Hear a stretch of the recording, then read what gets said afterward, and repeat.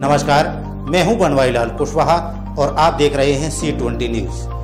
नज़र डालते हैं आज की कुछ खास खबरों पर। फिरोजाबाद जनपद के थाना मक्खनपुर क्षेत्र के अंतर्गत गाँव नवादा के समीप, उस समय अफरा तफरी मच गई जब एक टेंपो सवारियों से भरा हुआ पलट गया, जिससे उसमें बैठी सवारियाँ घायल हो गईं। कुछ ही देर में आसपास के लोगों की भीड़ एकत्रित हो गई।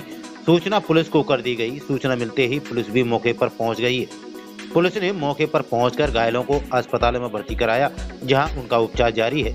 लोगों ने बताया कि चालक को दौरा पड़ गया था जिसके चलते टेंपो पलट गया। टेंपो में चार सवारियाँ सवार थी जो घायल हुई है। फ़िलहाल अस्पताल में भर्ती करा दिया गया है जहाँ उनका उपचार जारी तो देखते रहिए सी ट्वेंटी न्यूज़ के साथ राजेश गुप्ता की खास रिपोर्ट।